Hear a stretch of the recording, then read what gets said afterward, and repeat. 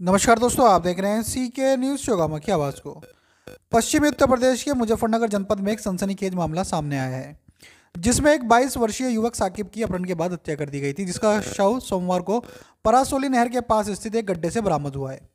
Police ने इस मामले में अब तक एक महिला समेत तीन आरोपियों को सलाखों के पीछे भेज दिया है।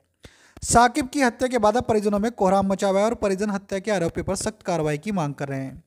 वहीं एसपी ग्रामीण अतुल कुमार श्रीवास्तव की माने तो तेईस जनवरी को थाने पर गुमशुदगी की सूचना अंकित की गई थी। उसमें लगातार गुमशुदा के प्रयास जारी थे, जिसमें आज लड़के की डेड बॉडी नहर के किनारे गड्ढे में कटी हुई मिली है। सुसंगत धाराओं में अभियोग पंजीकृत किया गया था, जिन्हें तरमीम किया जा रहा है। तीनों को गिरफ़्तार कर पहले ही जेल भेजा जा चुका है, शेष की गिरफ्तारी के प्रयास किए जा रहे हैं। पोस्टमार्टम और पंचनामा की कार्रवाई की जा रही है, जो भी दोषी है, उनके विरुद्ध सख्त कार्रवाई की जाएगी। पूरा मामला यह है जी वो साकिब को जो है ना इसका अपहरण कर लेता इसका तेईस तारीख में अपहरण कर लेता और अपहरण करने के बाद में उन्हीं लोगों ने इसकी हत्या कर दी। और हत्या में इसमें जो है नहीं और भी है। हत्या करने में इसमें और भी है।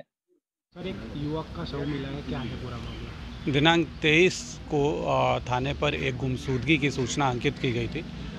उसमें लगातार गुमशुदा के प्रयास जारी थे। आज उस लड़के की डेड बॉडी एक नहर के किनारे गड्ढे में मिली है। सुसंगत धाराओं में अभियोग को पंजीकृत किया गया था। तरमीम किया जा रहा है। तीन अभियुक्तों को गिरफ़्तार करके पूर्व में ही जेल भेजा जा चुका है। शेष अभियुक्तों की गिरफ्तारी के प्रयास किए जा रहे हैं। पोस्टमार्टम और पंचायतनामा की कार्रवाई की जा रही है और जो भी दोषी हैं, उनके विरुद्ध सख्त कार्रवाई की जा रही है।